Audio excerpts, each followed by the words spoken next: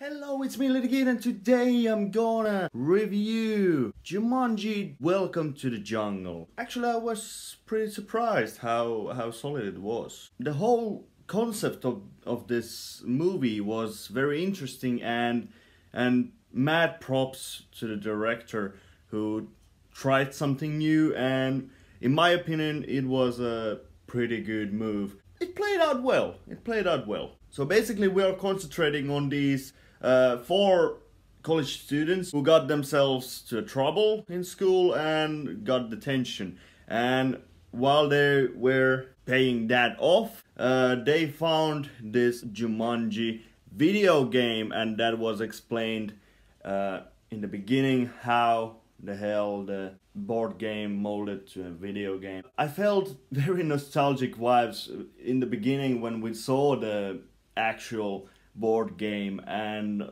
also when in the in the middle of the movie where we got some uh, references of uh, Alan Parrish in the jungle and yeah that was great not the plot was surprisingly solid and made sense like most of the time. The comedy was on point you know we have some really mad jokes right here but at some points uh, they felt like too much you know that they overthinked some things and overused some some some of them. The characters were developed pretty well and delivered exceptionally well by the actors and actresses. Best performance by far was, in my opinion, Jack Black's, who played this popular girl, Bethany. Dwayne The Rock Johnson, Kevin Hart and Karen Gillan did a great job too in my opinion all of them they got some moments here and uh, they they did pretty well. The villain if i can call him as that was menacing but we really didn't get much of him throughout the movie. But i love the way that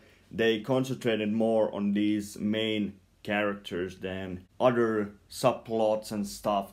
They mainly focused on these four characters. They tried to establish those characters as a survivors, which was pretty pretty good character development in my opinion. And in the beginning we got some kind of glimpse, you know, who they were before that and who were they growing to in the jungle. The action sequences were shot very well. We got some badass slow-mos and many tense scenes pretty good mix of action and comedy and the cinematography was pretty good.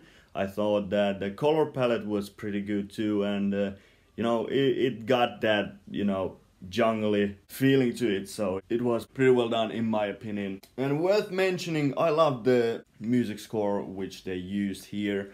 Uh, it, it, was it was pretty good and it brought some you know intensity and uh, more emotion to this movie. I personally thought that this movie will bomb, but it was positive surprise and uh, it's not in the top 10 still, but it is worth watching still in my opinion. It was it was pretty solid. Solid clip. I give this movie 4 out of 5 stars and I think that's the reasonable rating for this movie and I think that they did they did pretty good job and uh, showed the skeptics that it is much better than we actually could have hoped. Because I was one of the skeptics and I didn't think that molding the board game to the video game will be a great idea but yeah. What you thought about this movie? Like and subscribe for more content like this. You find the links down below to my patreon and letterboxd. And i'll see you in the next video. Cheers